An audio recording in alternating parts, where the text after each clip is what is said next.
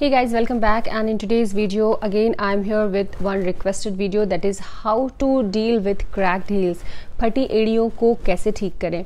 अभी सर्दियाँ आने वाली हैं और मतलब हमें से मोस्टली लोगों का ये कंप्लेन रहता है कि हील्स को कैसे स्मूथ रखें, फटे नहीं या फिर अगर फट गए हैं तो उन्हें हम कैसे सही करें? तो सबसे नंबर वन चीज़ जो है, वो है आपको हर दिन अपने पैरों को बहुत अच्छे से दो बारी धोना है और स्क्रब करना है।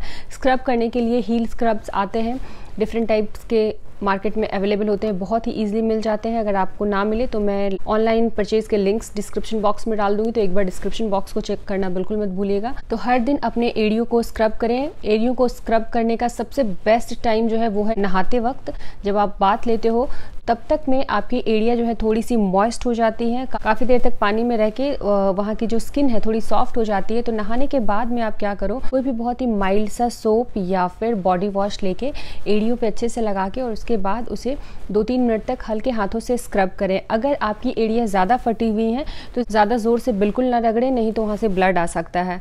और एक बार में ही बहुत ज़्यादा डेड स्किन वहाँ से निकालने की भी कोशिश नहीं करें। धीरे धीरे निकालें। कई बार क्या होता है, कुछ लोगों की एरिया जिनकी बहुत ज़्यादा फट गई हैं और वो चाहेंगे कि एक दो बार ही स्क्रब करके हम इसे पूरा क्लीन कर लें तो ऐसा नहीं होगा। इससे आपकी जो हील्स हैं वो डैमेज भी हो सकती है। मतलब एरिया ज़्यादा फट सकती हैं, ब्लड निकल सकता है। तो गो ईजी और धीरे धीरे स्टेप वाइज उसको ठीक करें। ओके okay, उसके बाद नहाने के आने के बाद जैसे आप पूरे बॉडी में मॉइस्चराइज़र लगाती हैं तो एड़ियों को बिल्कुल नहीं भूलें वहाँ पे भी आपको अच्छे से मॉइस्चराइज़र लगाना है। और चूँकि आपने अपनी एड़ियों में मॉइस्चराइज़र लगाया हुआ है तो घर पे फिर एक चप्पल रख लें जो कि आप घर में यूज़ करें। मोस्टली लोग जो बाहर चप्पल पहन के जाते हैं उसे घर में यूज़ नहीं करते। इसलिए आप एक फोम वाली चप्पलें जो आती हैं जो मोस्टली लोग घर के लिए यूज़ करते हैं वो रख लें और हमेशा उसे पहन के रखें। इससे क्या होगा कि जो फ्लोर पे डस्ट है गंदगी है या फिर इवन आपके घर में अगर कारपेट है तो हमें दिखता नहीं है लेकिन कारपेट पे भी डस्ट वगैरह जमा होते हैं तो वो आपके एड़ियों में चिपके नहीं। क्योंकि आप मॉइस्चराइज़र लगा के रखोगे तो, तो बहुत ही ईजिली बाहर के जो डर्ट्स रहेंगे जो धूल मिट्टी रहेंगी वो एड़ियों में चिपकेंगे और इसके बाद वो आपके एड़ियों को फिर हील नहीं होने देंगे। तो इसलिए हमेशा घर पे भी आपको फुटवेयर पहन के रखना है। इससे ना कि आपकी एड़ियाँ अच्छी रहेंगी, बल्कि आप देखोगे कि ओवर द टाइम आपका जो पूरा फूट एरिया है, बहुत ही खूबसूरत हो जाएगा। सोने के पहले कभी भी आप अपने एड़ियों को खुला नहीं छोड़ें।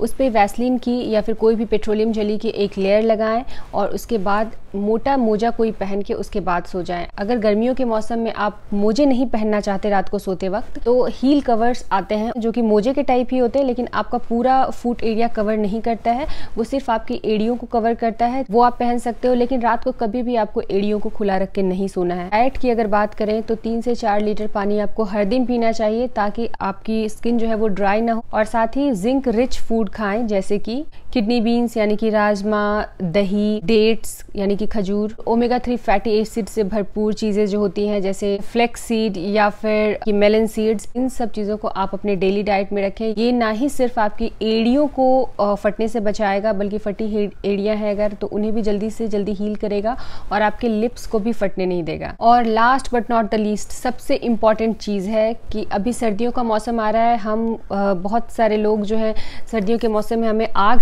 सेकना बहुत अच्छा लगता है। कुछ लोग सिगड़ी जलाते हैं, कुछ लोग जो रूम हीटर आता है, उसके आगे भी हम क्या करते हैं, हाथ और पैर इस तरह से रख के और सेकते हैं जब हमें बहुत ज़्यादा ठंडी लगती है। तो ये काम आपको बिल्कुल नहीं करना है।